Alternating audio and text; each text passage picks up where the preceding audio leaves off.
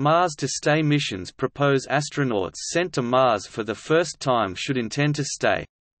Unused emergency return vehicles would be recycled into settlement construction as soon as the habitability of Mars becomes evident to the initial pioneers. Mars-to-stay missions are advocated both to reduce cost and to ensure permanent settlement of Mars.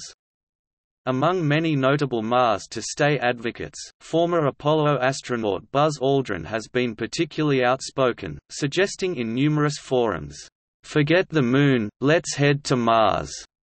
And, in June 2013, Aldrin promoted a manned mission, "'to homestead Mars and become a two-planet species'". In August 2015, Aldrin, in association with the Florida Institute of Technology, presented a «master plan» for NASA consideration, for astronauts, with a «tour of duty of 10 years» to colonize Mars before the year 2040. The Mars Underground, Mars Homestead Foundation, Mars One, and Mars Artists Community advocacy groups and business organizations have also adopted Mars to Stay policy initiatives. The earliest formal outline of a Mars to Stay mission architecture was given at the Case for Mars VI workshop in 1996, during a presentation by George Herbert titled, One Way to Mars.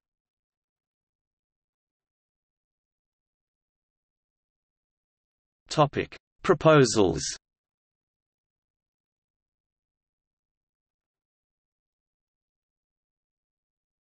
Topic: Arguments for settlement missions. Since returning the astronauts from the surface of Mars is one of the most difficult parts of a Mars mission, the idea of a one-way trip to Mars has been proposed several times.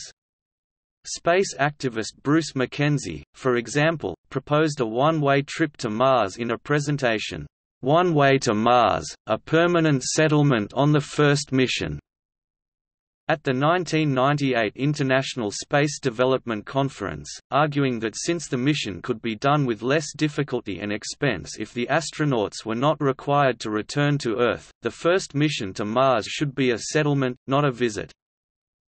Paul Davies, writing in The New York Times in 2004, made similar arguments. Under Davies' plan, an initial colony of four astronauts equipped with a small nuclear reactor and a couple of rover vehicles would make their own oxygen, grow food, and even initiate building projects using local raw materials. Supplemented by food shipments, medical supplies, and replacement gadgets from Earth, the colony would be indefinitely sustained.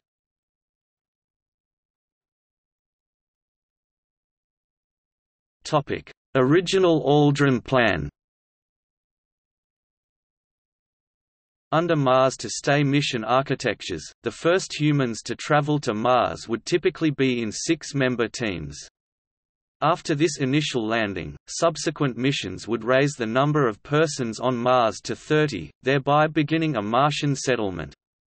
Since the Martian surface offers some of the natural resources and elements necessary to sustain a robust, mature, industrialized human settlement—unlike, for example the Moon, a permanent Martian settlement is thought to be the most effective way to ensure that humanity becomes a space-faring, multi-planet species. Through the use of digital fabricators and in vitro fertilization it is assumed a permanent human settlement on Mars can grow organically from an original 30 to 40 pioneers. A Mars-to-stay mission following Aldrin's proposal would enlist astronauts in the following timeline age 30, an offer to help settle Mars is extended to select pioneers. Age 30 to 35, training and social conditioning for long-duration isolation and time-delay communications. Age 35, launch three married couples to Mars, followed in subsequent years by a dozen or more couples age 35 to 65, development of sheltered underground living spaces, artificial insemination ensures genetic diversity. Age 65, an offer to return to Earth or retire on Mars is given to first-generation settlers as Aldrin has said, who knows what advances will have taken place. The first generation can retire there, or maybe we can bring them back.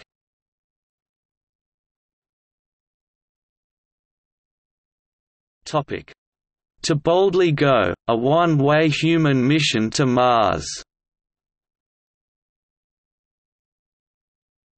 An article by Dirk Schulze-Makuch, Washington State University, and Paul Davies, Arizona State University, from the book The Human Mission to Mars: Colonizing the Red Planet highlights their mission plans as No base on the Moon is needed.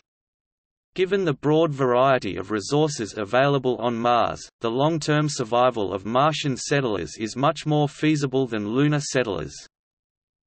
Since Mars affords neither an ozone shield nor magnetospheric protection, robots would prepare a basic modular base inside near-surface lava tubes and ice caves for the human settlers. A volunteer signing up for a one-way mission to Mars would do so with the full understanding that they will not return to Earth. Mars exploration would proceed for a long time on the basis of outbound journeys only, the first human contingent would consist of a crew of four, ideally if budget permits distributed between two two-man spacecraft for mission redundancy. Over time humans on Mars will increase with follow-up missions. Several subsurface biospheres would be created until there were 150 plus individuals in a viable gene pool. Genetic engineering would further contribute to the health and longevity of settlers. The astronauts would be sent supplies from Earth regularly. This proposal was picked up for discussion in a number of public sources.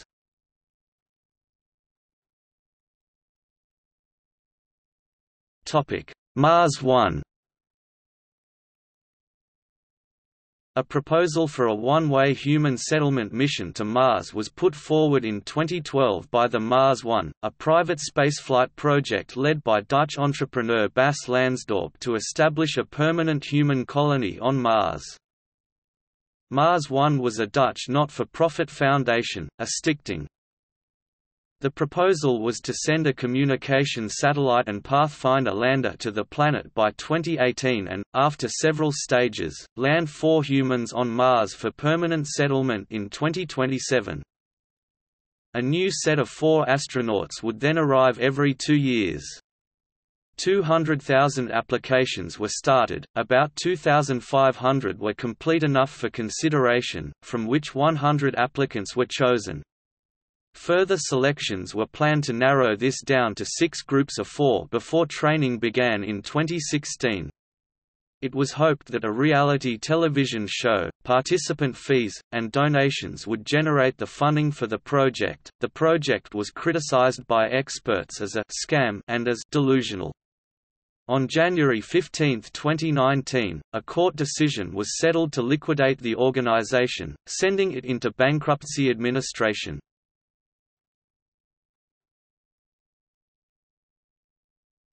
Topic: Strive to stay emergency return only. In response to feedback following the Earthlight Institute's Mars Colony 2030 project at Newspace 2012 and the announcement of Mars One, Eric McMur proposed conjunction-class missions be planned with a bias to stay if low gravity, radiation, and other factors present no pressing health issues, so that, if at the end of each 550-day period during a conjunction-class launch window no adverse health effects were observed, settlers would continue research and construction through another 550-day period. In the meantime, additional crews and supplies would continue to arrive, starting their own 550-day evaluation periods. Health tests would be repeated during subsequent 550-day periods until the viability of human life on Mars was proven. Once settlers determine that humans can live on Mars without negative health effects, emergency return vehicles would be recycled into permanent research bases.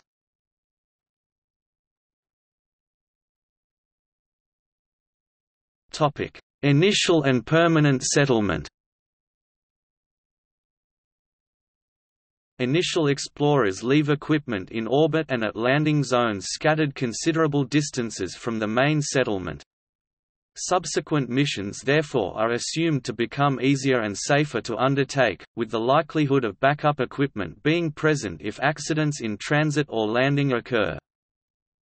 Large subsurface, pressurized habitats would be the first step toward human settlement, as Dr. Robert Zubrin suggests in the first chapter of his book Mars Direct. These structures can be built as Roman style atria in mountain sides or underground with easily produced Martian brick. During and after this initial phase of habitat construction, hard plastic radiation and abrasion-resistant geodesic domes could be deployed on the surface for eventual habitation and crop growth. Nascent industry would begin using indigenous resources. The manufacture of plastics, ceramics, and glass could be easily achieved.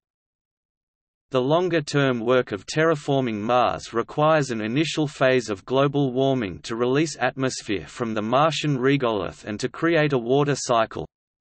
Three methods of global warming are described by Zubrin, who suggests they are best deployed in tandem, orbital mirrors to heat the surface, factories on the ground to pump halocarbons into the atmosphere, and the seeding of bacteria that can metabolize water, nitrogen and carbon to produce ammonia and methane these gases would aid in global warming.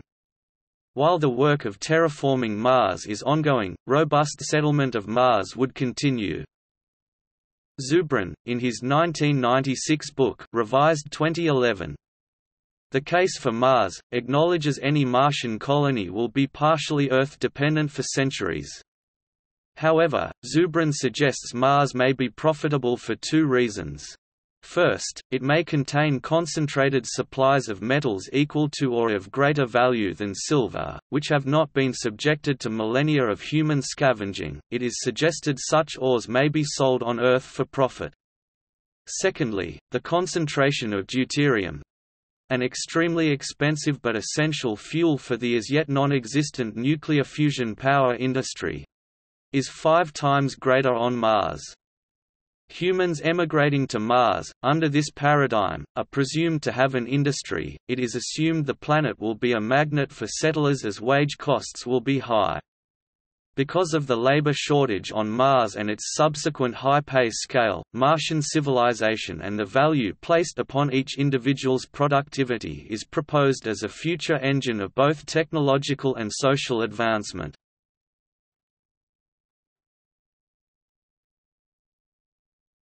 Topic: Risks. In the fifth chapter of Mars Direct, Zubrin addresses the idea that radiation and zero gravity are unduly hazardous. He claims cancer rates do increase for astronauts who have spent extensive time in space, but only marginally. Similarly, while zero gravity presents challenges, near total recovery of musculature and immune system vitality is presumed by all Mars to stay mission plans once settlers are on the Martian surface. Several experiments, such as the Mars Gravity Biosatellite, have been proposed to test this hypothetical assumption, but until humans have lived in Martian gravity conditions 38% of Earth's, human long-term viability in such low gravity will remain only a working assumption. Back contamination humans acquiring and spreading hypothetical Martian viruses is described as just plain nuts because there are no host organisms on Mars for disease organisms to have evolved. In the same chapter, Zubrin rejects suggestions the Moon should be used as waypoint to Mars or as a preliminary training area. It is ultimately much easier to journey to Mars from low Earth orbit than from the Moon and using the latter as a staging point is a pointless diversion of resources. While the Moon may superficially appear a good place to perfect Mars exploration and habitation techniques, the two bodies are radically different. The Moon has no atmosphere, no analogous geology and a much greater temperature range and rotational period of illumination. It is argued Antarctica, deserts of Earth, and precisely controlled chilled vacuum chambers on easily accessible NASA centers on Earth provide much better training grounds at lesser cost.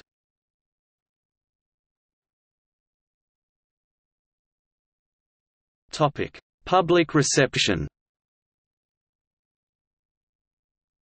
should the United States space program send a mission to Mars, those astronauts should be prepared to stay there," said lunar astronaut Buzz Aldrin during an interview on Mars to Stay initiative. The time and expense required to send astronauts to Mars, argues Aldrin, warrants more than a brief sojourn, so those who are on board should think of themselves as pioneers.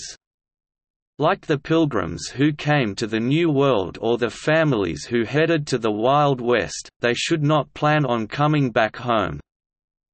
The Moon is a shorter trip of two or three days, but according to Mars advocates it offers virtually no potential for independent settlements. Studies have found that Mars, on the other hand, has vast reserves of frozen water, all of the basic elements, and more closely mimics both gravitational roughly one-third of Earth's while the Moon is one-sixth and illumination conditions on Earth. It is easier to subsist, to provide the support needed for people there than on the Moon. In an interview with reporters, Aldrin said Mars offers greater potential than Earth's satellite as a place for habitation, if we are going to put a few people down there and ensure their appropriate safety, would you then go through all that trouble and then bring them back immediately, after a year, a year and a half? They need to go there more with the psychology of knowing that you are a pioneering settler and you don't look forward to go back home again after a couple of years.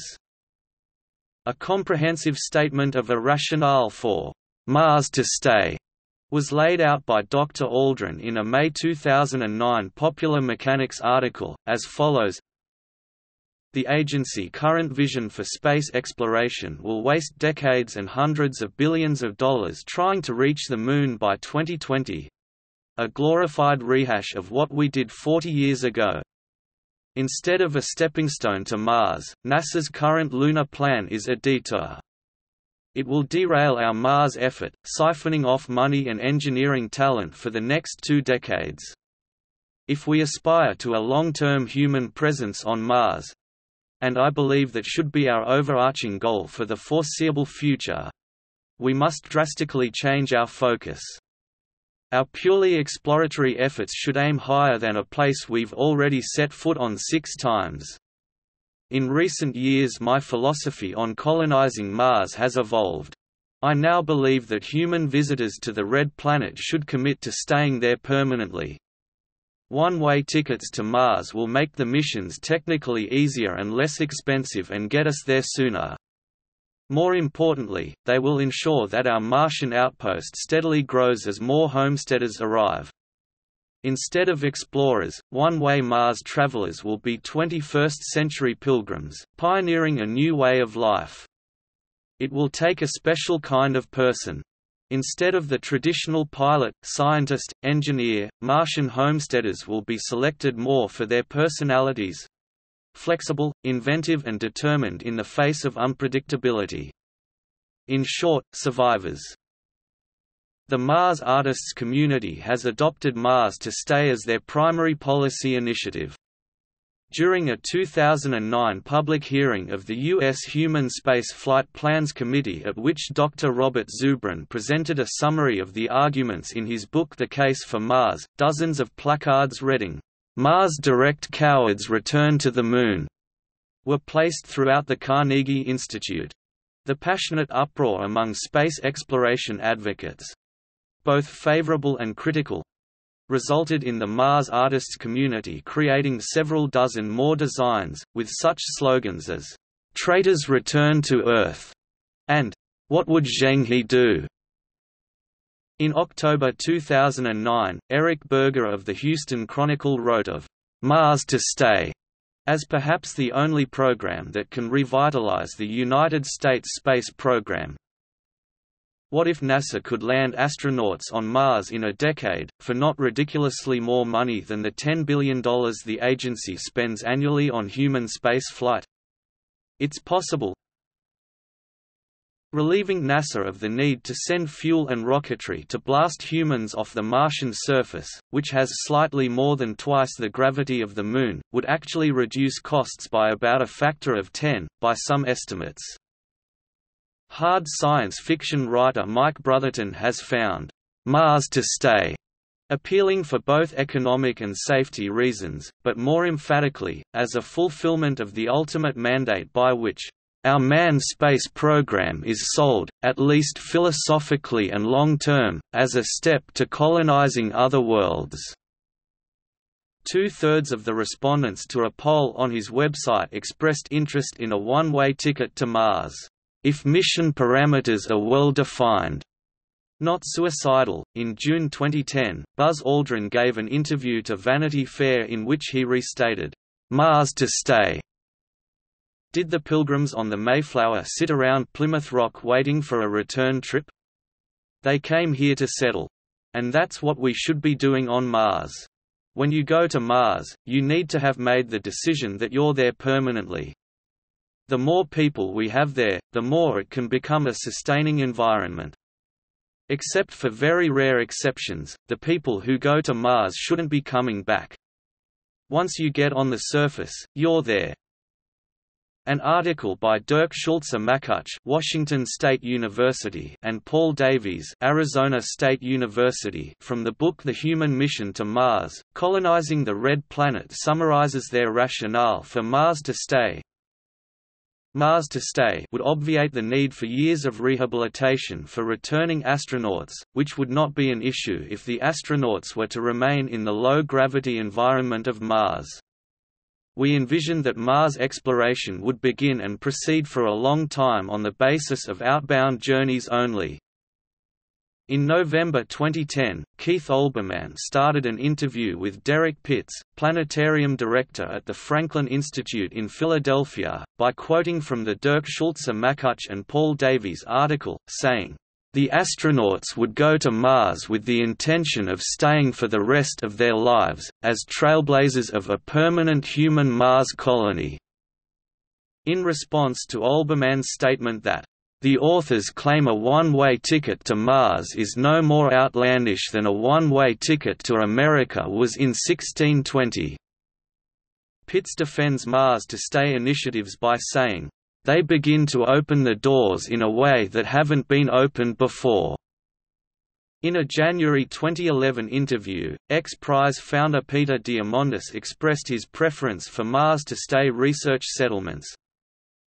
Privately funded missions are the only way to go to Mars with humans because I think the best way to go is on one-way colonization flights and no government will likely sanction such a risk. The timing for this could well be within the next 20 years. It will fall within the hands of a small group of tech billionaires who view such missions as the way to leave their mark on humanity. In March 2011, Apollo 14 pilot Edgar Mitchell and Apollo 17's geologist Harrison Schmitt, among other noted Mars exploration advocates published an anthology of Mars to stay architectures titled, A One-Way Mission to Mars, Colonizing the Red Planet. From the publisher's review, Answers are provided by a veritable who's who of the top experts in the world. And what would it be like to live on Mars? What dangers would they face? Learn firsthand, in the final, visionary chapter about life in a Martian colony, and the adventures of a young woman, Aurora, who is born on Mars. Exploration, discovery, and journeys into the unknown are part of the human spirit. Colonizing the cosmos is our destiny. The greatest adventure in the history of humanity awaits us. Onward to Mars. August 2011, Professor Paul Davies gave a plenary address to the opening session of the 14th Annual International Mars Society Convention on Cost-Effective Human Mission Plans for Mars titled, One-Way Mission to Mars.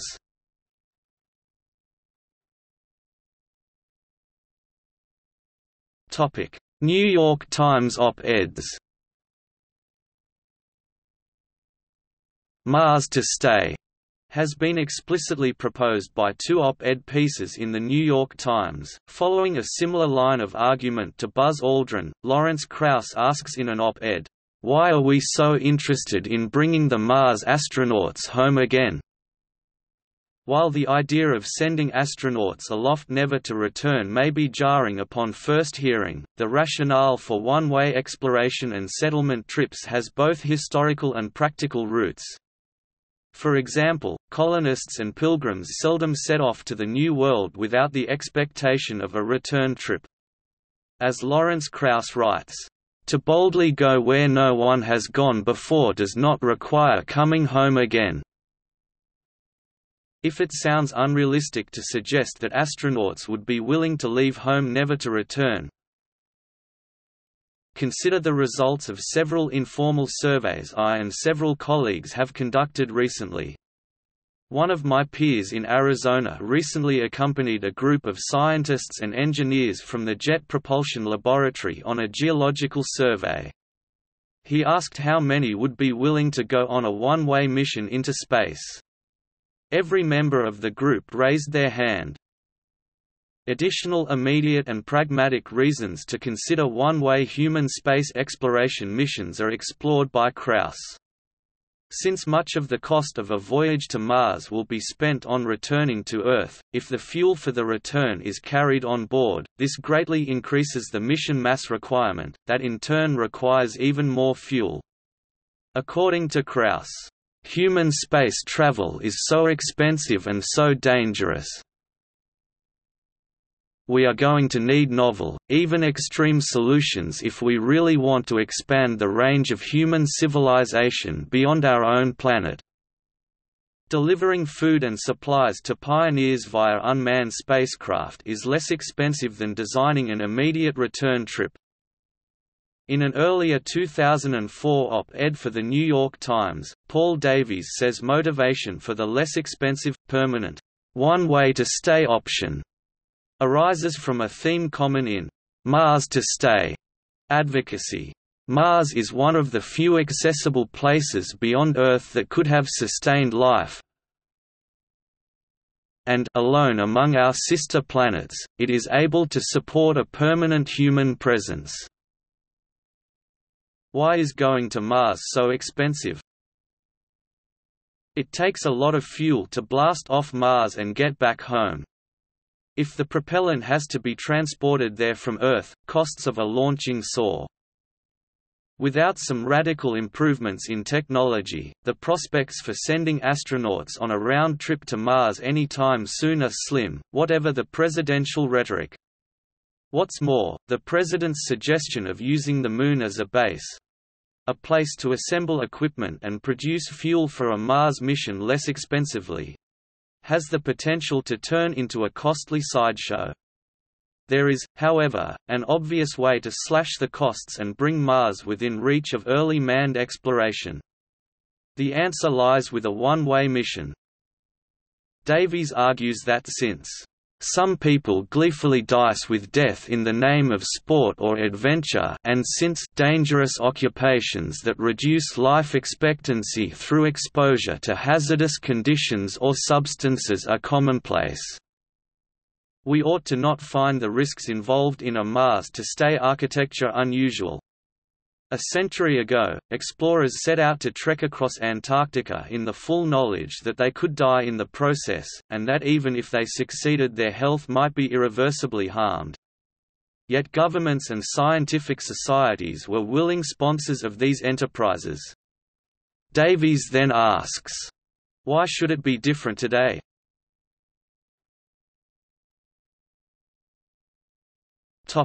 See also